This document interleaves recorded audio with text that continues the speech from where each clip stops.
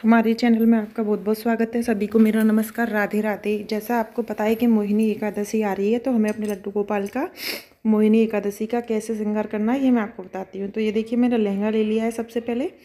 दुपट्टा, blouse और ये देखिए, ये मैंने लहंगा लिया है। अब मैं इसको पहले पहना लेती हूँ, फिर आपको आगे बाद में दिखाती हूँ। यहाँ देखिए, हमने पहना लिया है। अब पहनाएँगे एक गले का सेट। ये देखिए। सबसे पहले मैं एक सेट गले से लगा हुआ पहना रही हूँ। इसके बाद मैं इससे थोड़ा लॉन्ग सेट पहनाऊँगी। ये देखिए या मैंने एक लॉन्ग सेट पहना लिया है। इसके बाद मैं सबसे ज़्यादा लॉन्ग सेट पहनाऊँगी ये, मोहिनी एकादशी। मोहिनी एकादशी के बारे में आपको पता है कि हमें कितना सुंदर श्रृंगार करना है। उसी तरीके से मैं श्रृंगार कर रही हूँ। या हमें कानों के पहना रही हूँ, ये देखिए। यहाँ पे दोनों कानों में पहना दिए मैंने लड्डू गोपाल को। तो आप भी मोहिनी एकादशी पे इस तरीके से श्रृंगार करें अपने लड्डू गोपाल का। यहाँ मैंने बिंदी लगा दी है। लड्डू गोपाल के ये देखिए। आपके जितने बड़े लड्डू गोपाल हैं, उस हिसाब से आप बिंदी लगाएँ। मैंने अपने हिसाब से लगाई है, ये देखिए यहाँ पर। अब मैं यहाँ पर ले रही हूँ नग, जो मैं दोनों गालों पर थोड़ी पर चिपकाऊँगी लड्डू गोपाल के। यहाँ देखिए।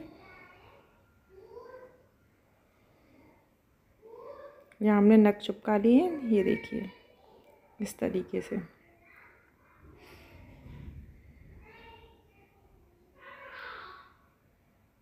अब मैं बाल लगा रही हूँ, लड्डू गोपाल के। देखिए, मैं राधा रानी के ही बाल लगा रही हूँ। यहाँ देखिए, कितना सुंदर रूप आता जा रहा है। अब मैं लगाऊँगी इनकी बालों में टीका। टीका भी हम वही वाला लगाएँगे जो हम राधा रानी के लगाते हैं।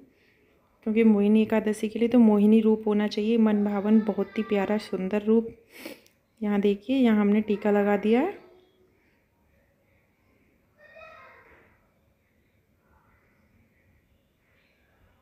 यहाँ देखिए, अब मैं नत पहना रही हूँ इनको। यहाँ पर हमने नत पहना दी है। ये देखिए, इस तरीके से। और नथ के ऊपर एक नक सेट करेंगे।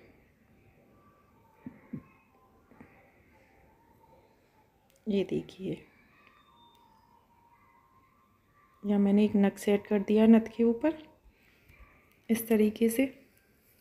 आप भी इस तरीके से पहनाएँ। ये देखिए, हमारे लड्डू गोपाल पे एकदम मोहिनी जैसा रूप आ रहा है। यहाँ पर अब हम इनके एक चोटी और लगाएँगे।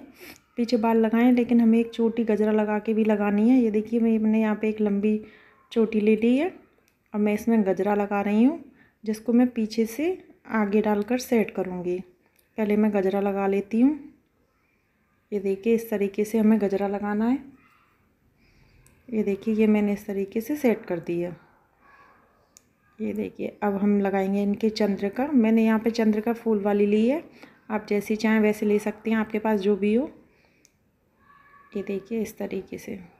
यहाँ पे अब मैं इनको दुपट्टा उड़ा दूँगी। ये देखिए।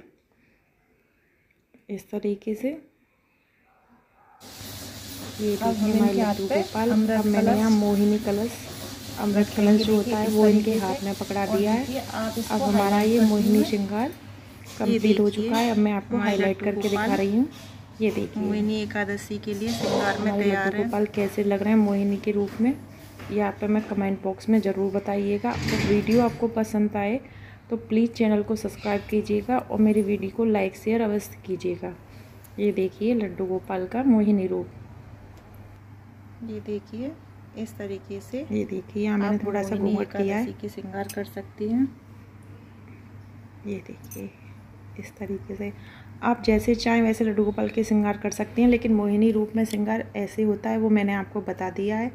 आपको वीडियो पसंद आए तो चैनल को सब्सक्राइब तो करें आपको वीडियो को लाइक शेयर अवश्य करें सभी को राधे राधे। के ये आप कमेंट बॉक्स में ज़रूर बताएँ वीडियो पसंद आए तो लाइक शेयर अवश्य करें सभी को राधे राधे।